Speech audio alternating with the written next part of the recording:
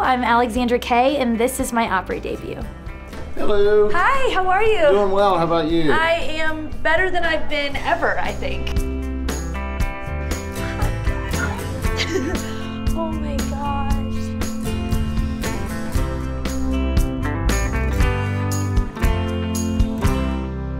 I was born in Waterloo, Illinois.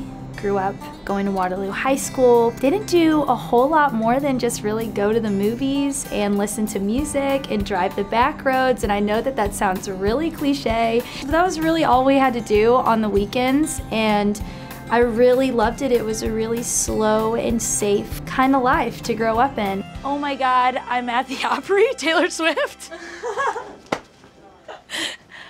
That's crazy. Taylor Swift's my favorite. She's like why I started writing music. I started writing songs when I was 13 years old.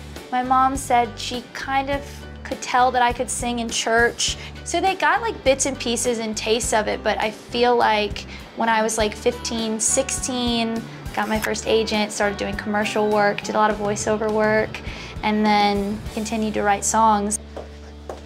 Isn't this crazy? I'm literally, I feel like I'm dreaming. Hi. Good. I'm so excited. Wait till tonight. Nice to meet you.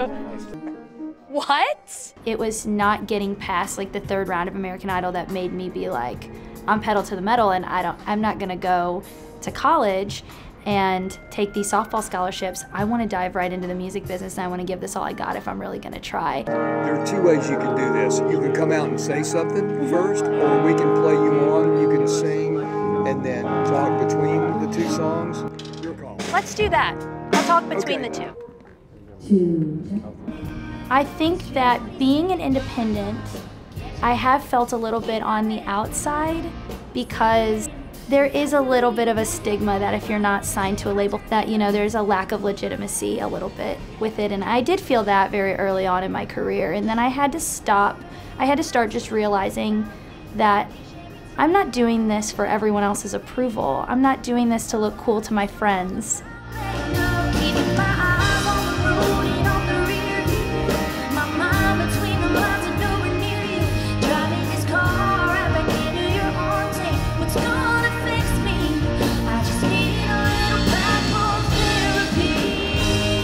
She's just very well rounded and she knows she could talk the talk. And um, when she walks into a room, you can really tell that she, she gets it and she wants to learn every single aspect of it.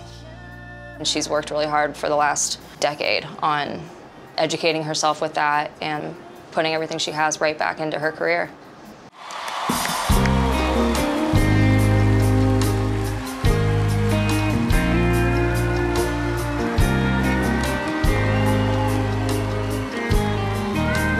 She is so excited to get to make her Grand Ole Opry debut. And here's what I'd like. Please make welcome for the very first time on the Grand Ole Opry stage, my friend, Miss Alexandra Kay, making her Opry debut.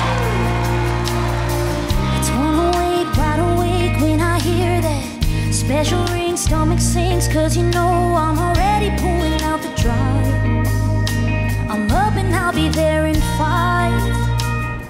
She is the hardest working woman I've ever met. It's been an inspiring um, thing to see because we've been together for a short period of time, only a handful of years, and in that time, now she's playing the Opry.